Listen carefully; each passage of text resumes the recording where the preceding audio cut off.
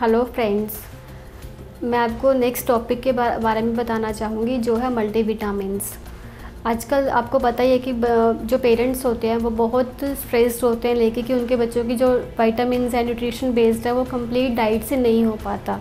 सो so, इसी के इसीलिए स्पेशली वो डाइटिशियंस के पास जाते हैं डॉक्टर्स के पास जाते हैं कि सर मैम या सर उनको हम उनको क्या दे सकते हैं?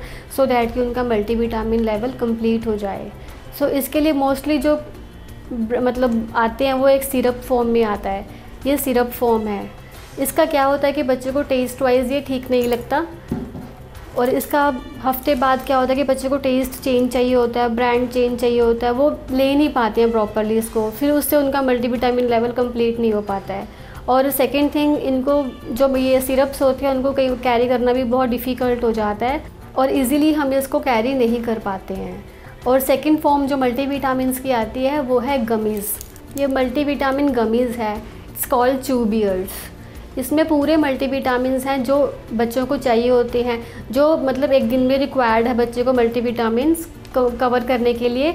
अगर बच्चा एक दिन में एक गमीज़ एक जेलीज भी खाता है तो उससे उसका एक दिन की रिक्वायरमेंट कंप्लीट हो जाती है। और बेस्ट थिंग ये है कि इसको हम कवर कैरी भी कर सकते हैं इजीली स्प्लिट आउट कहीं नहीं हो पाएगा।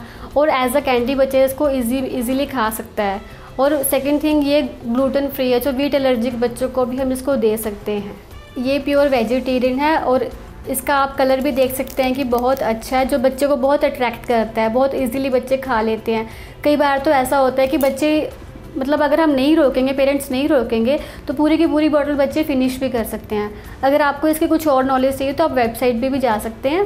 होपफुली आप ये अपने बच्चों के लिए ज़रूर ट्राई करेंगे। Thank you